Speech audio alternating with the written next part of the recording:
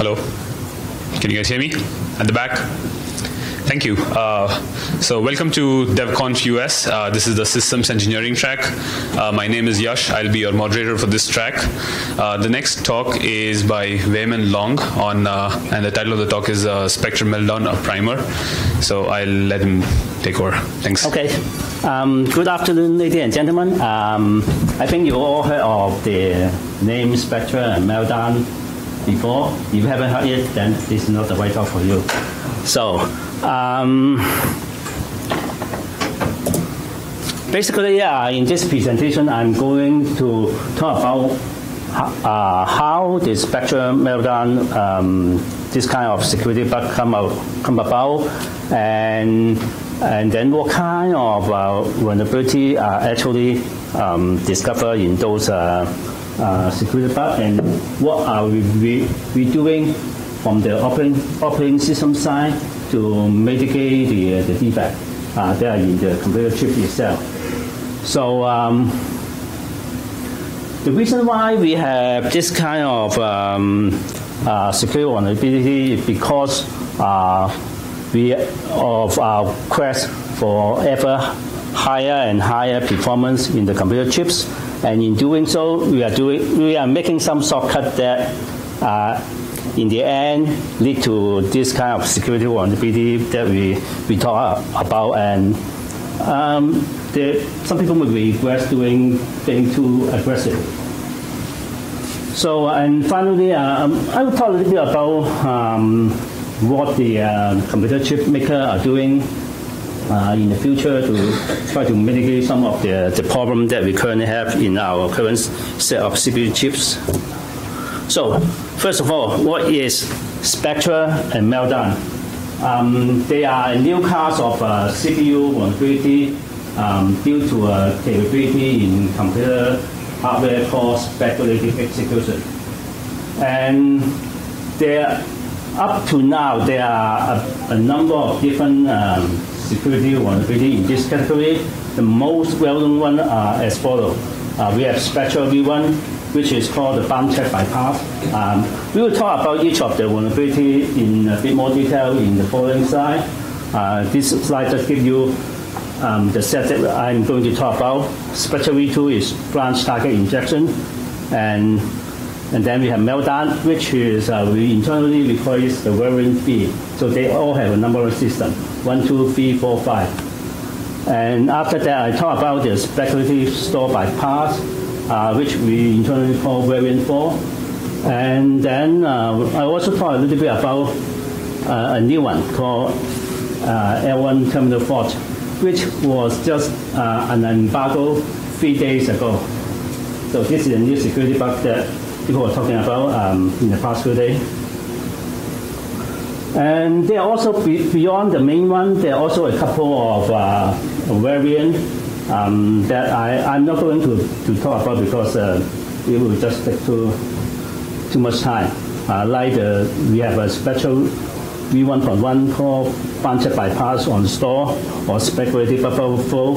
And then there's another one called NetSpectre that allow you to do uh, to perform speculative attack from, from the network side. So you don't have to actually run on the computer itself. You just send some package to the computer, and then you can uh, extract some information out from it. But the thing with NetSpectre is the, the, the bit rate is very low. So you can extract maybe a few bytes every hour or so. So yeah, although this is theoretically possible, the amount of data that you extract is very, very minimal. So unless you can have uh, um, continue to do the attack for for a few weeks or so, you won't be able to get much information out of it. Okay, why we have this kind of security bug?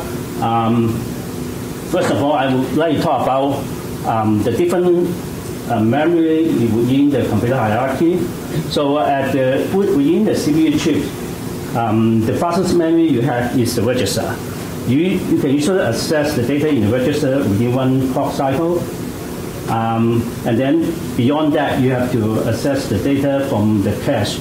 Um, in modern computer chip, They are usually about uh, three level of cache. You have the L1 cache, uh, level 2, L2 cache, and L3 cache. And then beyond that, you have to access the data from memory.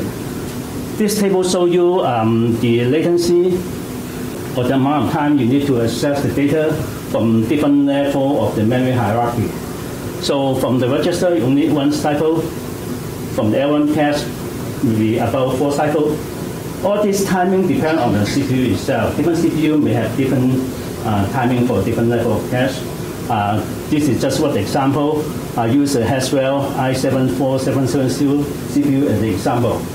So um, for that CPU, the, the amount of time you need to access data in the L2 cache is 12 cycles. And from the L3 cache, um, depending on where, where, where you are, the data, also L3 is, is a one, is one single set of cache shared by all the CPU core.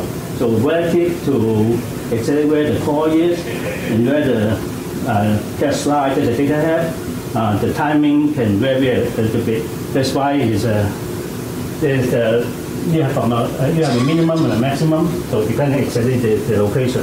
The further the data away is from the actual CPU core, the, more time you need to access the data. And for RAM, for physical memory, um, you actually need quite a lot of time. Uh, so we are talking about about 100 and about 100 nanosecond in order to access one data from from the memory. And with a 3 gigahertz, 3.4 gigahertz CPU, one clock cycle is about uh, 0.3 nanosecond. So you can think about 0.3 nanosecond compared with 100 nanosecond. You're talking about um, a difference of 300. So uh, you can do one operation uh, in one cycle, and then the next operation, you need to get the data from memory. And then you can see you have to wait about 300 cycles before you can actually get the data. And in between, if you have nothing to do, the CPU will sit idle, doing nothing, basically. That's why uh, modern CPU have a lot of way to speed up the operation. Um, if you listen to the talk in the morning about um, uh, the cycle, the life of a CPU within in a millisecond, uh, the speaker talked a lot about the internal operation of the CPU and what kind of optimization they can done to speed things up and making it faster. So in order to hide all this memory latency, there are a lot of ways that the CPU can do. Um, the easiest way is pipelining. So basically, um, you can break up an instruction into smaller operation before you have micro op. So you can break up into four or five or even more. And then in each cycle, you do one micro op, and then next cycle, do a second one. And you can pipeline the whole thing. So you can do things in parallel. So in, in essence, it extends the time you have to do. Oh, sorry. In essence, it extends the time that you have to do. Uh, maybe I can use a mic easier. In essence, you can extend the time that you, you have to do the instruction, but at the same time, maintain still maintain a very high clock speed. But there is only so much you can do with pipelining. Um, so the second way the CPU can help to speed up operation is by doing uh, our order execution. So um, in the instruction stream, you usually have uh, the first instruction and second instruction and so on. Um, when they are one in computer, then um, they are not actually one in the order of the instruction stream. The computer chip will analyze the dependency between instruction, and if they find that the instruction and uh, they have no dependency, then they may execute them out of order. Some instruction may get executed ahead of the other one, and so on. Uh, so they can extract the parallelism within your computer uh, instruction stream. And beyond the order execution, you also have, have to do branch prediction because whenever you do you hit a branch instruction, uh, modern computer software are usually very, very branchy, especially the um, general purpose one. Um, you will hit a branch instruction maybe every six or seven instruction. So when you hit a branch instruction, then the, the computer, ha- the CPU has to evaluate the, the condition that lead to the branch You see whether you take one branch or the second one. And depending on what kind of uh, instruction you do before the branch, it can take a while to determine whether you, you are taking the first branch or the second one. So uh, in most computer hardware, they have some dedicated logic to do branch prediction. So you, you predict ahead of time which branch you are most likely to take and then execute those instructions uh, ahead. So, and then we go into speculative ex- execution. Why is called speculative execution? Because usually after the branch prediction. So because after the branch, if you your prediction hardware predict correctly, then the instruction after the branch will be retired after immediately after that. If the prediction is wrong, then they have the forward order instruction that you have done before and forward the intermediate data and and then go to the next branch, the, the, the second branch, and do the execution again. So uh, this create a pipeline for, uh, store and slow thing down. Um, that usually don't happen that often, but when that it happen, it will slow down the, the, the computer chips. So what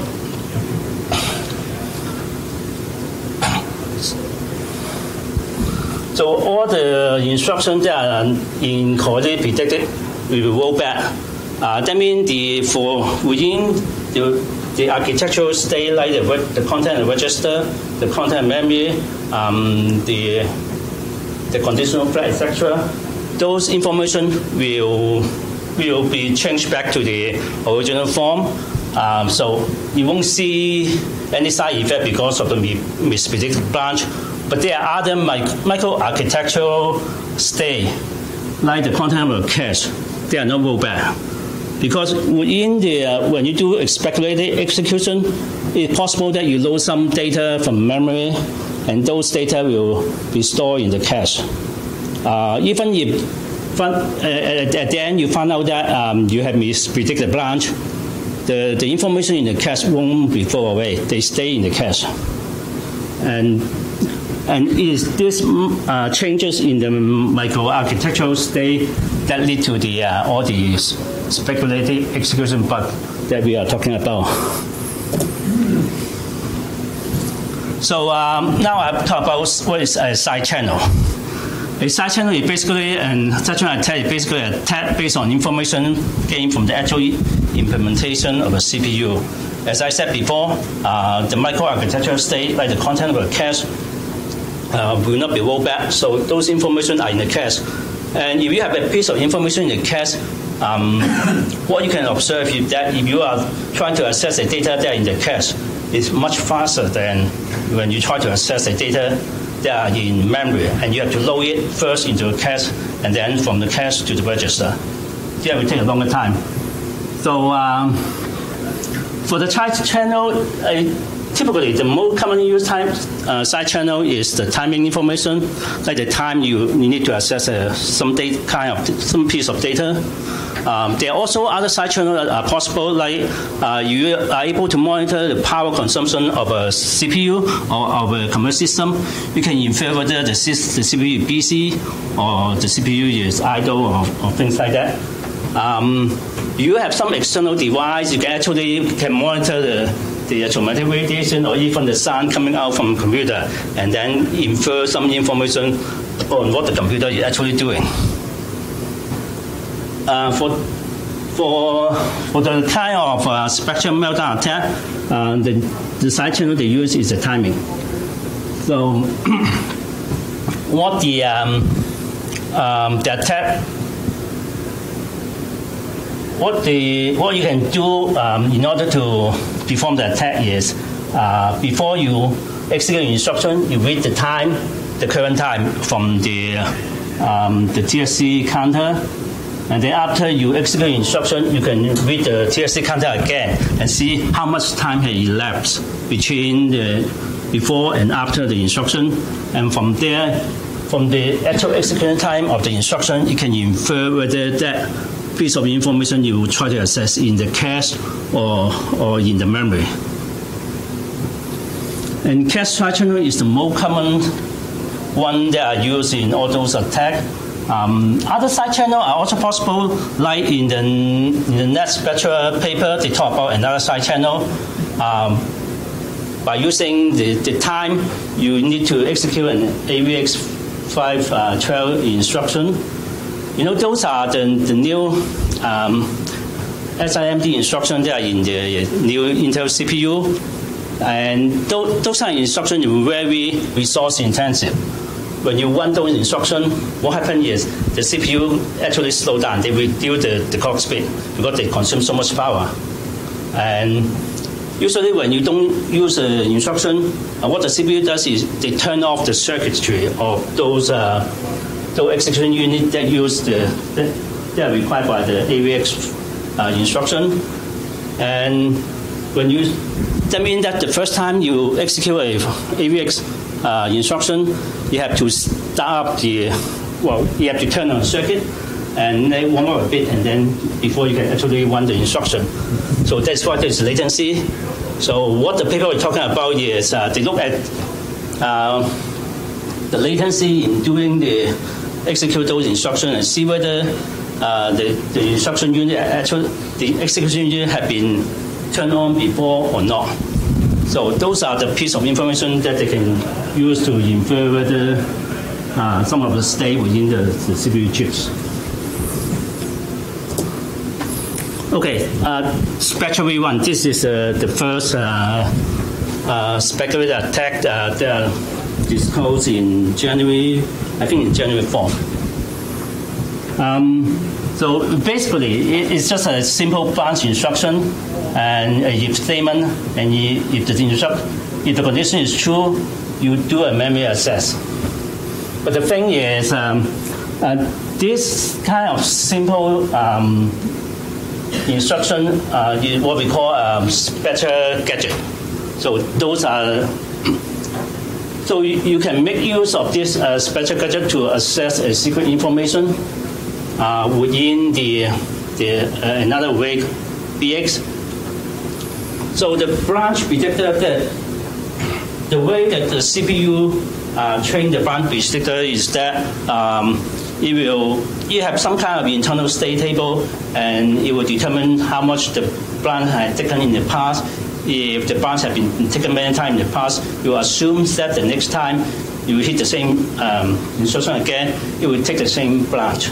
So past history, we use the past history to predict the, the future outcome so you can actually train the predictor to predict that one branch is more likely than the next. So the the attacker can have a piece of software that train a particular branch prediction address to, to, to do a certain branch and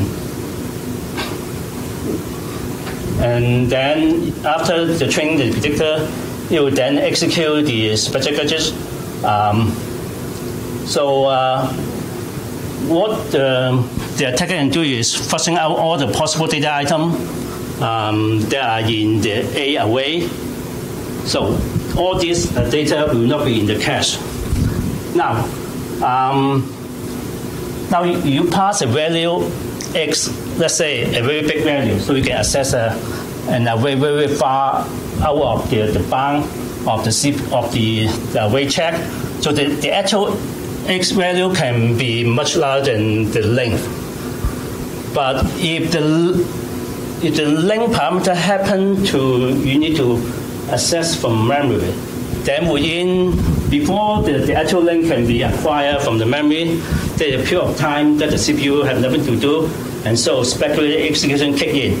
So you assume that the branch will be taken, so you will go ahead to try to read the, the BX away, get the data in, and then use it to infer, uh, use the data from the secret um, secret value, and then use it to to indirectly access another piece of data that, you know that, that can be brought into a cache. And after the branch file, um, later on you can then load each of the value from the array one by one and see how much time it takes. Let's say the secret value is uh, 1. Then uh, you speculatively execute the, the um, instruction um, to assess the content of A, bx times 512. That means you will assess the uh, 512 value of the A array. So you will get that piece of data will be fetched into the cache. And, and after the speculative execution, you can assess each item um, from from A0 to A512 and then A124 and so on. You can, and then you can determine which one you can you can do it in the shortest time. Then that is the secret value. They're actually in the BX array that you want to to get. So this is how they infer the value of the secret value uh, by using speculative execution. But by looking at how much time you need to assess the way via the cache um, and to, to see which uh, secret value are the most likely one. And and that's reason why it's called the bound check bypass. So actually it bypass the bound check and do the speculatively execute instruction to get the data uh, from the secret value. So the way to fix the issue is uh, you can you can either insert a, a, a, kind of LFENCE between the branch instruction and the array access to block speculation. Uh, a LFENCE is an instruction that the CPU provides to allow you to stop um, doing any speculative execution forward until you uh, until the result of all the previous instructions have finished. So in this way, um, no speculative execution will be allowed. It. Another way to to fix this issue is uh, using some uh, what, what is called the data dependent exec masking. Uh, like in the Linux kernel, they have a special macro called array index no spec that allow you to uh, dereference an array index.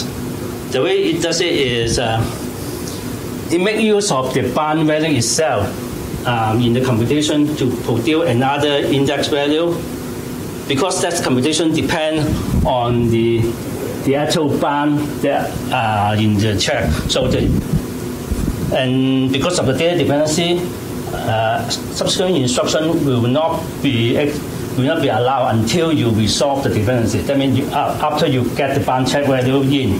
So that slow thing down that um, block the speculative execution from, from happening.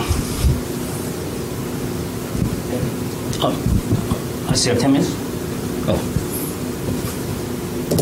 Okay. Yeah. And the, the other one is uh, spec bound target injection, which is basically um, uh, the a lot of CPU have uh, some kind of indirect branch instruction that you get the target of the, of the branch address from a register or from a memory location instead of directly branch to a certain instruction.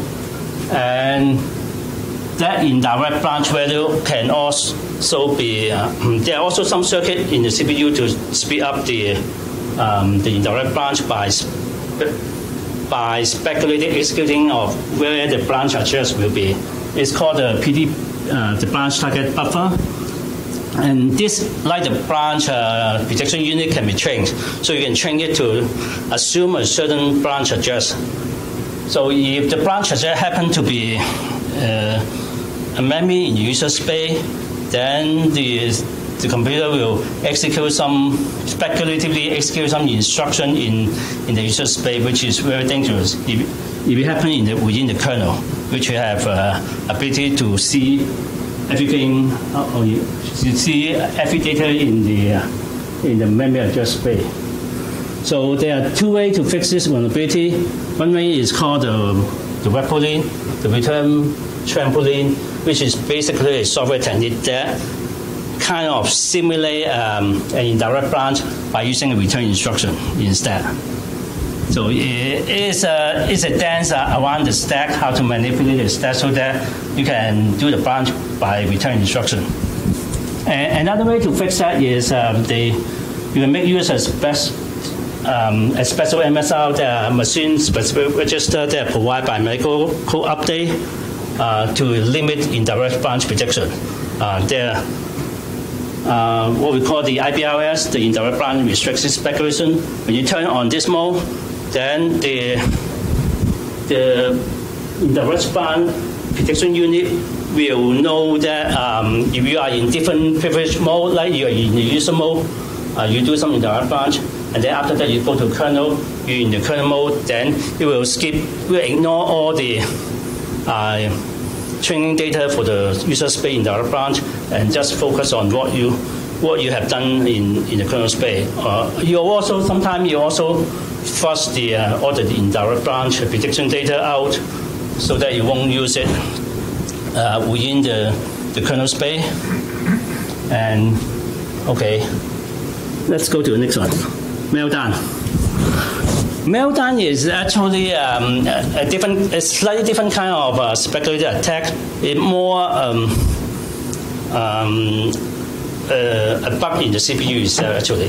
So for 86, Meltdown only affect the Intel CPU, but not AMD. Uh, the reason is because um, for in, the Intel CPU, they, they are doing a, a lot more aggressively in terms of speculative execution. So before a memory access happens, you are supposed to check whether you are allowed to access the memory, that particular memory address before you move ahead to load the instruction. But uh, in, in, the case of Intel CPU, um, the, the protection check was done after they had already started speculative execution or speculatively load the, the memory data. Um, the, in the case of AMD, they, they do the position check beforehand, so they don't have this problem. Um, but for, for Intel, um, apparently they, they did it as in a different way. Um, and the way to mitigate this uh, problem is to limit what you can see in the user space. So in the user mode, um, because in order to execute the meltdown attack, you you have to be able to see the whole kernel address space and and to fix that, um, what we can, what we have done, um, at least in the Linux kernel, and I think in all in in the other OS like Windows also, is called the PTI page table or kernel page table isolation. So when you're using, when you're in user mode, you only see a limited amount of uh, kernel data and then when you go call into kernel, they switch the page table to see the whole set of kernel space. So, uh, but that switching of page table uh, costs time, so that that is why um, all this mitigation will slow things down. Uh, we have done some benchmark. It, it will slow down performance by about uh, a few percent, depending exactly what what you're doing. Okay and the, and then this is the, the variant four. you call the speculative store bypass. Um, it actually, um, um, okay, let, let me skip this one. This is the latest one called the L1 Terminal Fault. Oh, oh, there's a error in the slide. Okay, um, it, this problem is actually quite similar to Meltdown. It's again due to uh, Intel doing too aggressive a job in speculative execution. So you know about virtual memory when you have um, um, they have a set of page table to translate the virtual address to, to the uh, to the physical address, and there is a bit in the page table to define whether the page table entry is valid or not. If the page table entry isn't valid, it's supposed to generate just a simple page fault. But um, what Intel does is the, they, they, even if the page is not valid, they will assume that um, the, the address portion of the page table entry correspond to the physical address of the of the data page that you want to access, and actually speculatively load the data. And once you, the data is loaded in the cache, you can use a cache uh, timing side channel to retrieve the data. But that won't happen when the data uh, is in the L1 cache. If the data isn't in the L1 cache, uh, it will just it won't do anything. Um, um, kind of a shortcut they, they use to speed up performance because maybe they think that um, that is the most likely the case that the, where the data will be. And for this one, um, there are number, one minute. There are a number of mitigations that are possible.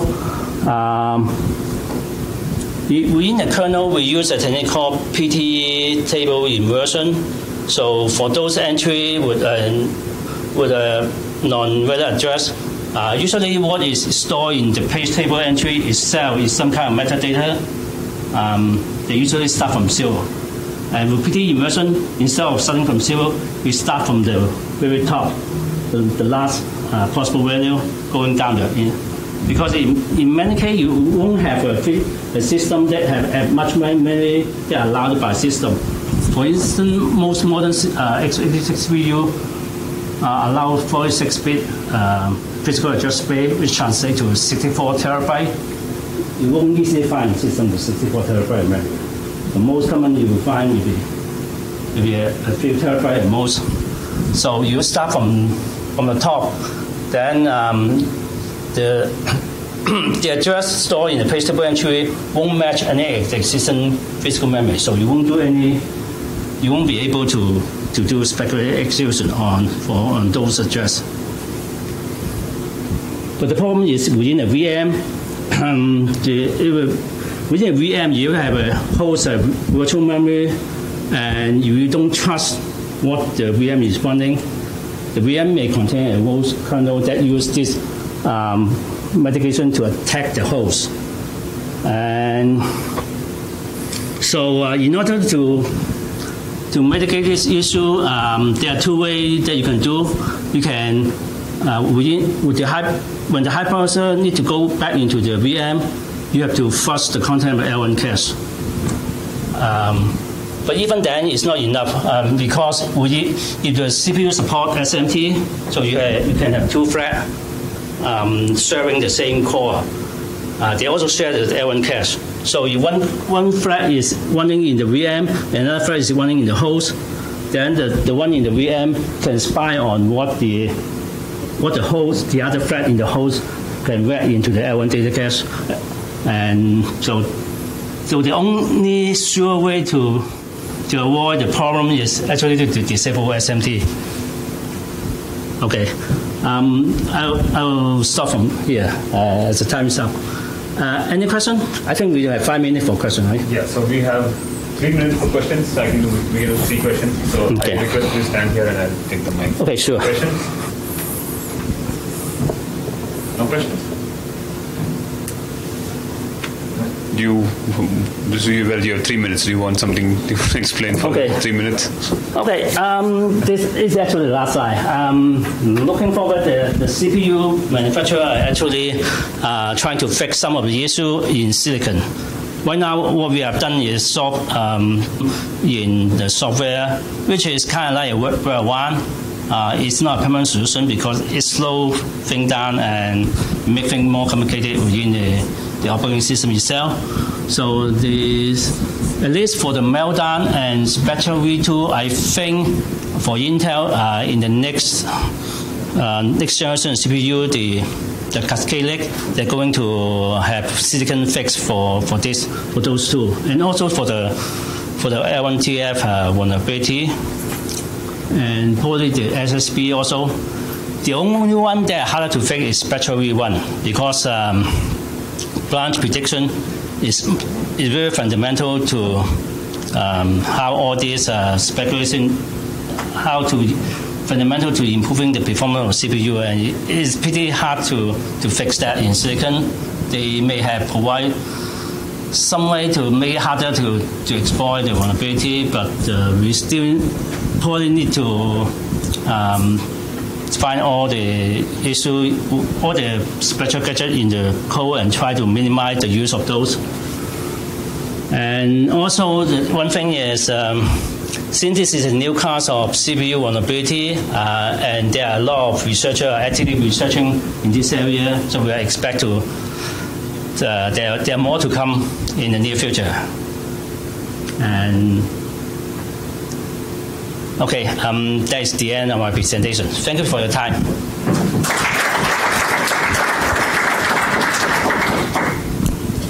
Yeah, thanks.